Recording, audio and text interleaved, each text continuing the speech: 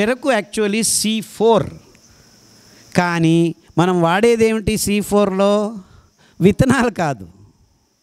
అంటే కంకి కట్టినప్పుడు నీళ్ళు ఎక్కువ అవసరం అనేది దానికి సంబంధం లేదు. గడ్డ ఎక్కువైతే చాలు మనకు చెరుకు రసం వస్తుంది. సో ఈ టెక్నిక్తో ఎక్కువ వేయటం వల్ల గడ్డ ఎక్కువ అవుతుంది. దాని నుంచి రసం పిక్కుంటున్నాం. ఈ రసం నుంచి ఏం తయారు చేస్తున్నాం మనం? చక్కెర అనుకుంటున్నారా? సారాయి. సారాయి అమ్ముకొని గవర్నమెంట్లు బతుకుతున్నాయి మనం ప్రపంచంలో ఇప్పుడు. అందుకే చెరుకు ఎక్కువగా పెంచుతున్నారు. ఇరవై ఎనిమిది percent agricultural land is used for చెరకు. ఓకే వాడుకున్నారు. నీదేమయ్యా బాధ ఇక్కడంతా? అందరూ వాడుకుంటున్నారు తింటున్నారు హ్యాపీగా స్వీట్లు తింటున్నారు. నీకేం బాధ అంటున్నారు? నా బాధ అంతా ఇంతే. ఆ చెరుకు ఆ స్వీటు ఆ సారాయి తిని లివర్లు కిడ్నీలు లేచిపోతున్నాయి.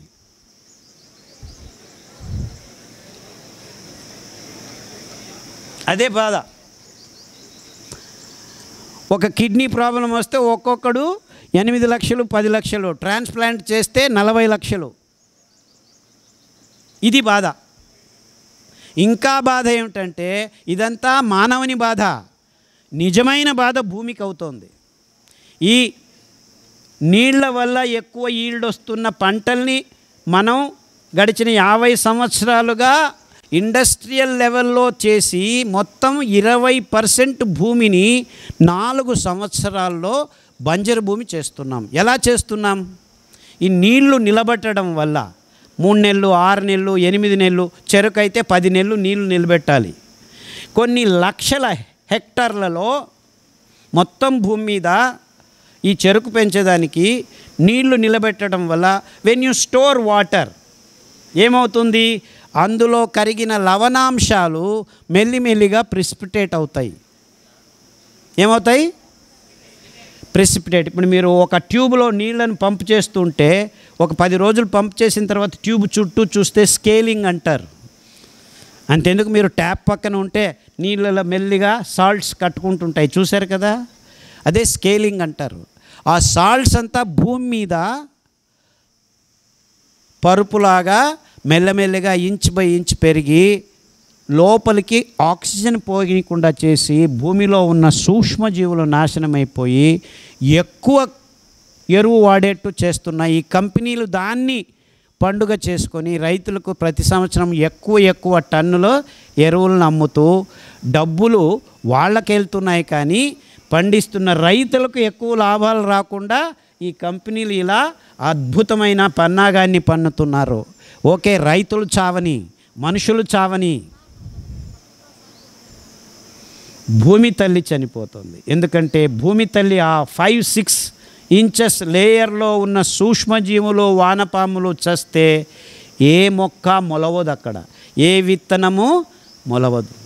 అంటే గడిచిన ఇరవై ఐదు సంవత్సరాల్లో మానవ జాతి చేసిన పెద్ద దురంతం ఏమిటంటే యాభై వేల హెక్టార్లు నీవు మొదలు పెడితే ప్రస్తుతం గడిచిన ఐదు సంవత్సరాల్లో ఇరవై ఐదు వేల హెక్టార్లలో మీరు పండించే వరి కూడాను ఇంత జెనెటిక్ మాడిఫికేషన్స్ చేసినా ఎన్ని ఎరువులు వేసినా ఎన్ని కలుపు మందులు వేసినా నలభై క్వింటాల్ వచ్చేది ఇప్పుడు ఈ ఇరవై రెండు క్వింటాలకు దిగిపోయింది.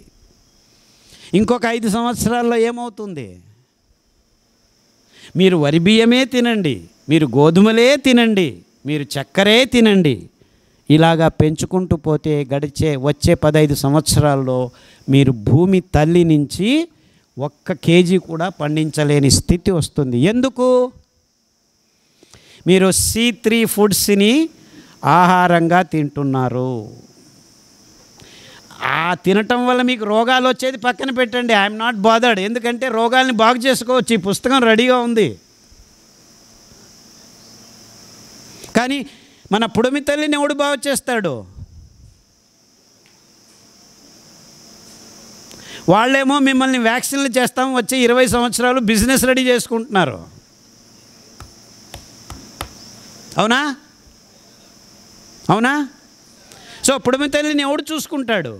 మీరేమో నాకు డయాబెటీస్ వచ్చింది నాకు హార్ట్ బ్లాక్ అయింది నాకు క్యాన్సర్ వచ్చింది మా తాత దగ్గుతున్నాడు దీనికి మందు దానికి మందు అని మీరు ఈ చెట్టు పెంచండి ఆ చెట్టు పెంచండి ఆ మొక్క తీసుకోండి ఈ మొక్క తీసుకోండి యాలోవెరా వేసుకోండి మీ వెంట్రుకలు నల్లగా అవుతాయి ఆ, వెంట్రుకలు నల్లగా పెయింట్ కొట్టుకొని తిరుగుతున్నాంలే అంటున్నారు మీరందరూ. ఆ పెయింట్ కొట్టుకొని తిరగడం వల్ల హార్ట్ బ్లాక్ అవుతుంది మీకు. అందుకే ఆయన పెయింట్ కొట్టుకోవద్దయ్యా బాబు ఇది పూసుకో నల్లగా అవుతుంది అని చెప్తున్నాడు. అర్థమవుతుందని నేను చెప్పేది? అంటే మనకు మన ఆరోగ్యం కంటే ఇంకా ఎక్కువ పెద్ద ప్రాబ్లం ఉంది ముందు వచ్చే పది పది సంవత్సరాల్లో. ఎవరికి ఉంది ఈ ప్రాబ్లము? ఎవరికి ఉంది పిచ్చోళ్ళు మీరు. మీకు అంత పిచ్చోళ్ళు ఇంకెవరూ లేరు. భూమికి కాదు ప్రాబ్లం మీకు. మీరే బతకాల్సింది. రామకృష్ణ రామకృష్ణ చాలా తెలివైన వాడు మేము ముసలోళ్ళు అయిపోయాం మాకేమి ఇబ్బంది లేదు ఇంక వెళ్ళిపోతాం అంటున్నాడు ఆయన. ఇంకా మిగిలేది ఎవరు నలభై ఐదు కోట్ల భారతీయ యువత. వేరే దేశాలకి ప్రాబ్లం లేదు అక్కడ యువతే లేదు. అందుకే మిమ్మల్ని రండి రండి అని వీసాలు ఇచ్చి పిలుస్తున్నారు వేరే దేశాల్లో. అర్థమవుతుందా ప్రాబ్లం మీకు? మరిన్ని అప్డేట్స్ కోసం ఎస్టీవీ యూట్యూబ్ ఛానల్ని సబ్స్క్రైబ్ చేసుకోండి.